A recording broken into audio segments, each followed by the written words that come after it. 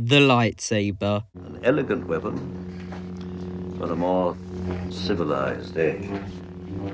Lightsabers consisted of a plasma blade powered by a kyber crystal. Plasma is an extremely hot substance, and so many people reason that lightsabers cause vast amount of thermal damage against those that they are used against. But do lightsabers actually cause thermal damage in canon? Today, I will comprehensively decide whether lightsabers do or have ever caused thermal damage in canon.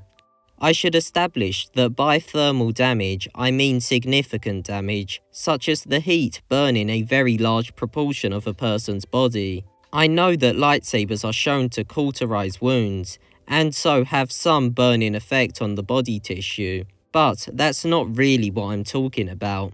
I was introduced to the idea that lightsabers do thermal damage through the debate over whether Sabine should have survived being stabbed in the Ahsoka show.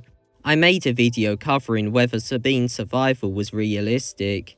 In that video, I didn't cover the thermal damage of a lightsaber, because I just assumed that lightsabers couldn't give thermal damage.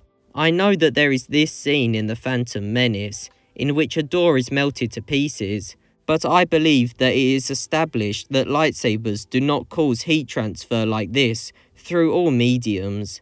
Namely, it doesn't cause this damage to organic bodies. This is clear to me because if they did, then surely the very igniting of a lightsaber would cause the user to be horrifically burned.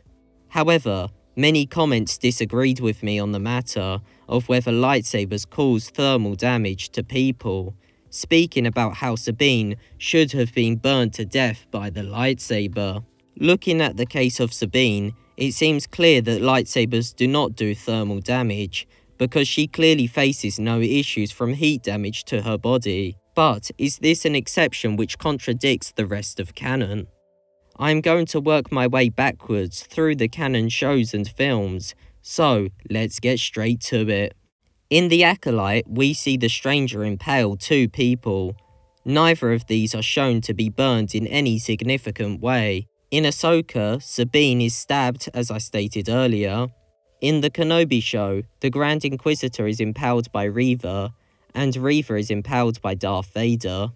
In the sequel trilogy, we see a stormtrooper be impaled by Finn, Han Solo be impaled by Kylo Ren, Kylo Ren holds the crossguard of his lightsaber against Finn's shoulder, Snoke be stabbed through the center of his body, Praetorian guards being stabbed, Kylo Ren impaled these people on Mustafar, Kylo Ren be impaled by Rey, and Ben Solo impaled two of the Knights of Ren.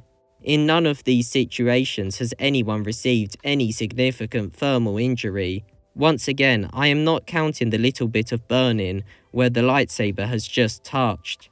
However, many people say that Disney changed the lightsaber so that it no longer causes thermal injury.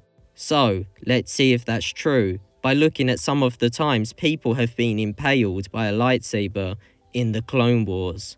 In the Clone Wars, characters who have been impaled are Captain Argyus, Trap, Tal Merrik, Commander Colt, The Sun, Rish Loo, Oked, Old Daka, Savage Opress, Pike, and Admiral Harch.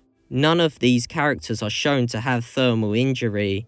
However, I suppose that you could argue that since the Clone Wars was airing on Cartoon Network, a kids channel, gruesome details such as burning flesh may have been left out of the show.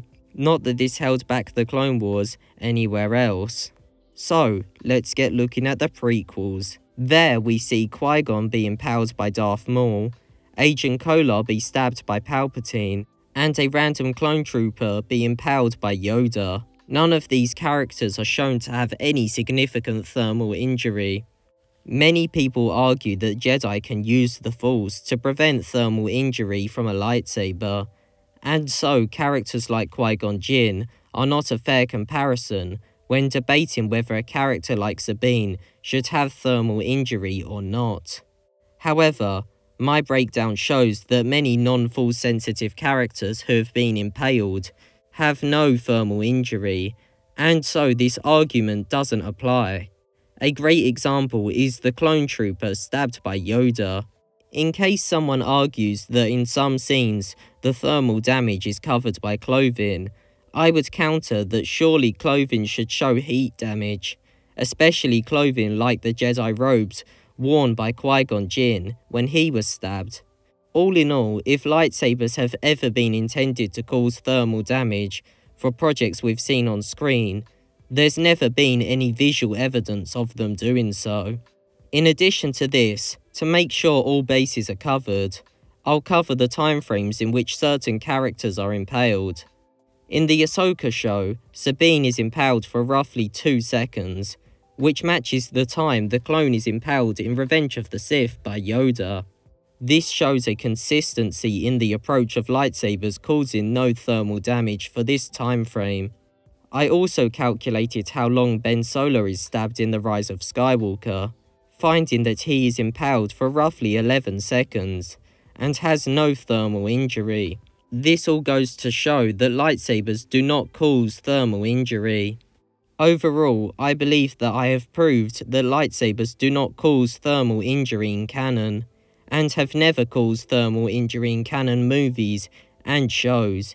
Thank you for watching, I hope you enjoyed the video, and bye.